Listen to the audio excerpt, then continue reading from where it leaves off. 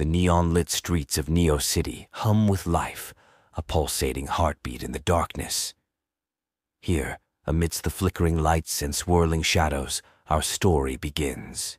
Neo City, a sprawling maze of steel and neon.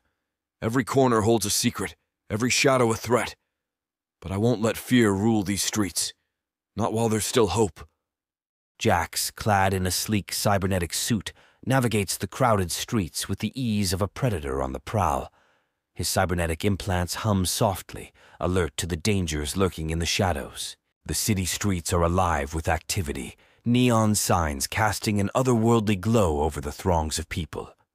Hovering drones zip through the air, their whirring propellers a constant reminder of the city's technological prowess. Jax's gaze narrows as he spots a group of syndicate enforcers harassing a group of helpless civilians. With a silent determination, he moves to intervene, his movements fluid and calculated. High above the city streets, in the heart of a towering skyscraper, lies the clandestine meeting between the syndicate and corrupt city officials. Here, in the belly of the beast, our hero's true test awaits. Gentlemen, behold the power of the syndicate. Neo City is ours for the taking, and nothing will stand in our way. The syndicate leader's voice echoes through the dimly lit room, his words dripping with malice as he outlines the syndicate's diabolical scheme. The room is shrouded in darkness, illuminated only by the faint glow of holographic displays flickering to life.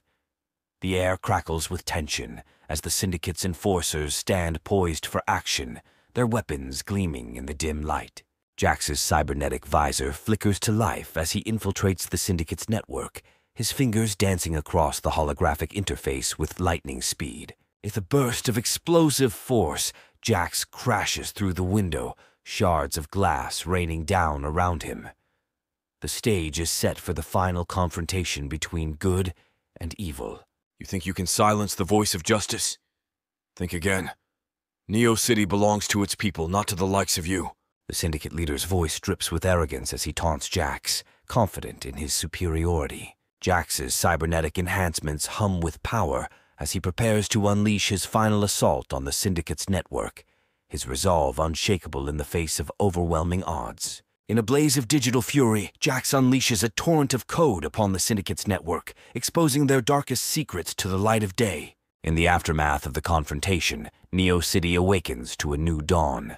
The neon lights still flicker, but there's a newfound sense of hope in the air, a promise of a brighter future. The fight is far from over.